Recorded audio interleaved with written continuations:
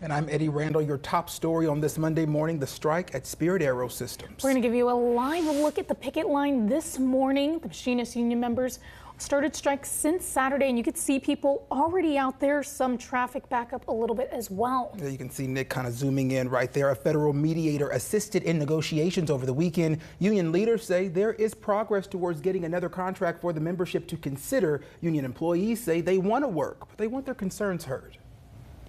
We want to be in there with you building planes, but you know, look at look try and see it from our point of view. You know, all we want is a fair deal. KSN learned Spirit employees who aren't on the production lines may be asked to work remotely starting today.